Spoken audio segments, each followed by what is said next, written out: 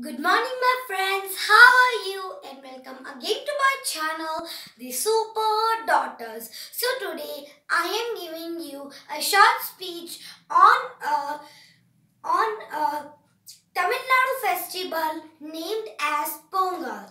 First of all, I am wishing you a very happy Pongal. Let's start with my speech. Is the one of the important Hindu festival.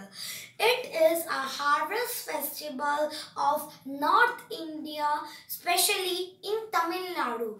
Pongal is a Tamil word means overflowing. This is celebrated as Thanksgiving ceremony for the year's harvest. It falls in the mid of the January every year. Pongal is the is celebrated last four days. The first day is known as Bhogi Pongal. The second day is known as Thai Pongal.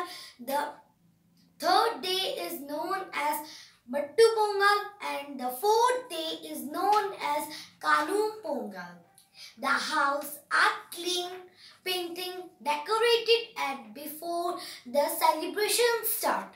People wear new clothes and traditional dresses and decorate the vessel they are going to prepare Pongal in.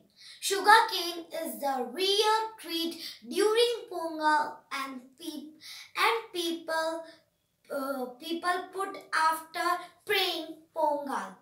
Pongal is the main dish. Uh, this is prepared to and served to the god on this day.